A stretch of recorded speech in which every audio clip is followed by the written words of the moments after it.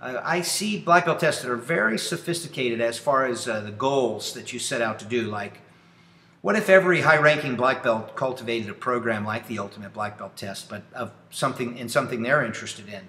Uh, there's all kinds of things we haven't addressed in the martial arts community: hypermasculinity, the effects of media on uh, girls' self-image, uh, anger management issues uh, you know, community engagement. There's all kinds of things you could champion. Three really good programs that I really like that are, you know, like top of the line. You could do anything around these is uh, thinkkindness.org of Brian Williams, uh, Gary Engel's work with project-based leadership training, and uh, the, of course the Ultimate Black Belt Test, the Alabama Project. Those are top of the line. You can start down here and start with some easy ones and work it up until you and the strength of your people can do something, you go, hey, this is like benchmark stuff here. So let's see, we've got personal, we've got other people, we've got community, we've got the ultimate black belt test. That's pretty much it, you know. So the core of this program is training. If you don't train, if you don't bring legit martial arts school skills to this program, we lose our credibility. Let's put that aside and say that's a must. Then you have to do something else. And you know, whatever's hardest for you in the ultimate black belt test, that's pretty much the test, isn't it? If you struggle with, uh, you know, journaling, well, my friend, that's your test.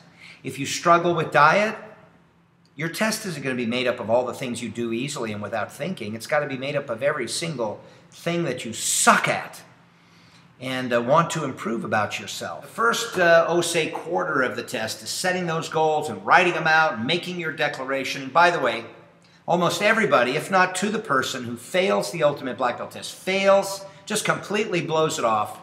These are not people who went to a large group of their students and peers and said, this is what I'm going to do and I will not quit. When you don't do that, it's easy to quit and you don't lose face, right? Everybody goes, ah, you know, it wasn't what it, oh, Callos, you know, oh, the ultimate, like, ah, oh, it's garbage, you know.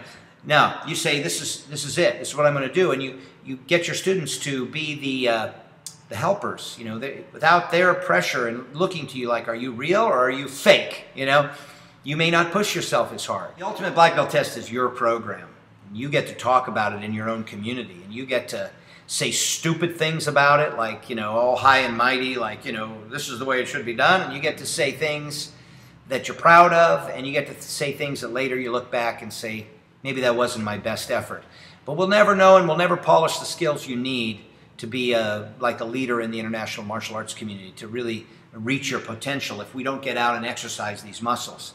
So that's the ultimate black belt test. Uh, the curriculum is designed in a way that you get to customize it. So customize it and let me scrutinize it with you and see if maybe uh, we can make it an effort that you're proud of for years to come, that it sets the mark for all the things that you do. That would be the ultimate.